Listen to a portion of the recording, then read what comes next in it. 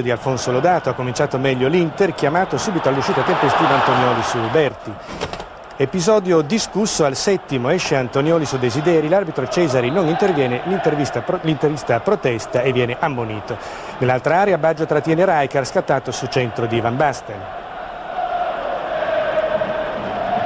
E comunque il Milan a premere, Van Basten impegna Zenga con un tiro violento.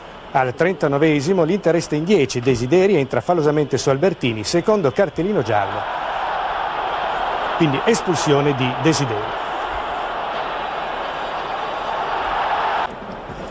Prima del riposo un altro tiro di Van Basten con respinta di Zenga.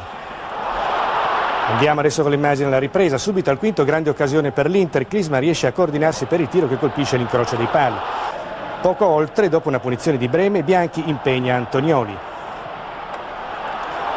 Poi è il turno di Zenga a fermare una rasoterra di Evani.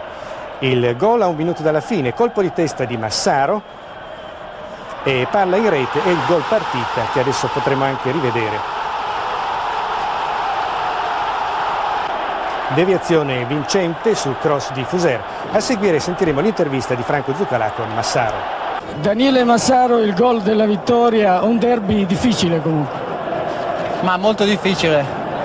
Basta pensare che io ho avuto una marcatura asfissiante, l'unica palla che ho toccato ho fatto gol. Sono riuscito a liberarmi bene per la squadra e bene per me.